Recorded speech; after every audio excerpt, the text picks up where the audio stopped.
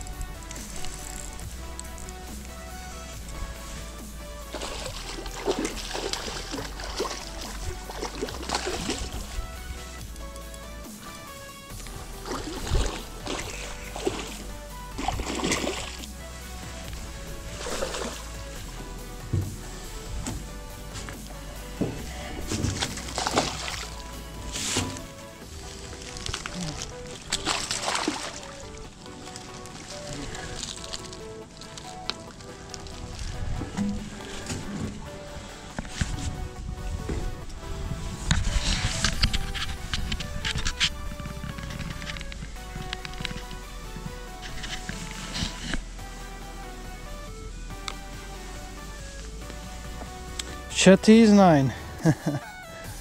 what a bait. What a bait. Small pikey.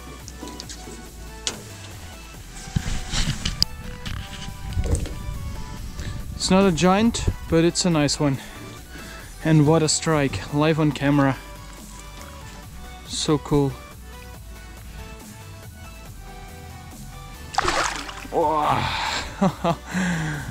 Lovely. So guys, that was it. We, we went to this lake because I didn't had too much time. Uh, so I, we took a local lake that I know very well. Um, and we caught a pike. We, we lost also two times the same pike, which is uh, too bad. But it was a very nice day. We caught uh, some fish on small lures like Shadteez 9 centimeter or BullTeez, that kind of lures, uh, so we can catch both pike and perch. I hope you liked this video. Please don't forget to like and subscribe if you haven't done that yet. There's more content coming soon. Yep.